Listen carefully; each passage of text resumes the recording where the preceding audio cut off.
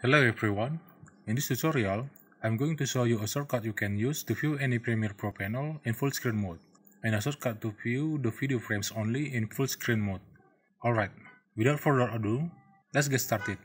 If you want to view the program monitor or playback panel in full screen mode, select the panel, and then press the tilde key on your keyboard. To go back to the default position, press the tilde key again. This shortcut is also applicable for the timeline panel project panel, or any panel you want to view in full screen. And to view only the video frames in full screen, simply press Ctrl tilde on your keyboard. And to go back to the previous state, press Ctrl tilde again. That's it. That's all for this tutorial. If you found this tutorial helpful, please hit the subscribe button for more future uploads. Thanks for watching this video and see you